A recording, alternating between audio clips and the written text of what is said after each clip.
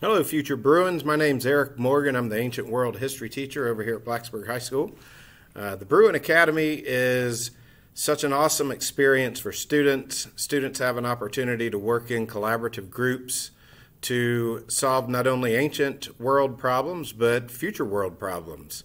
We discuss all parts of history from creation of tools and weapons and homes and communities and cultures, and we explore how all of these civilizations have, in some cases, united or fought, or so many different aspects of how our world has evolved.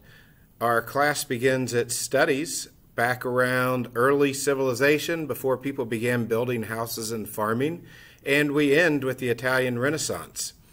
In my class, we have opportunities to showcase what you have learned through so many different ways. I'm going to show you a few things that some students have created. In addition to these hands-on projects, we do a lot of collaborative group work where you can create skits, write poems, songs, short stories, do sketches, 3D art, uh, paint, you name it, you can do it. All the creations are your ideas combined with opportunities that I provide. I'm going to take a quick scroll using the camera here to show you some assignments that people have created. This is a Trojan horse that's built out of wood.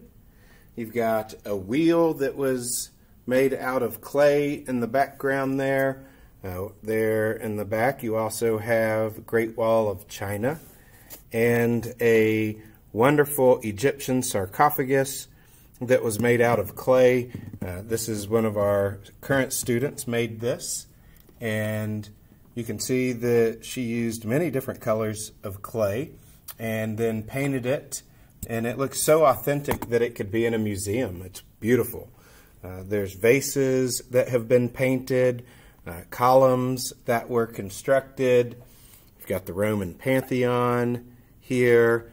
Uh, students have painted some artwork. This is the Trojan horse as well. Um, we've got one more painting over here. I can put it up for you to see. This is Persephone uh, when we learn about the Greeks. So there are so many opportunities for you to learn outside of the traditional classroom where you're not going to have tons of quizzes, tons of tests.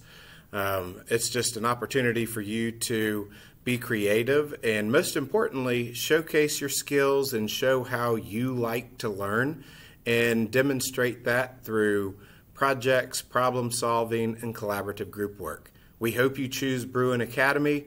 We think that it's an awesome adventure for you to enter high school with and continue through your high school years. Best of luck on your decisions.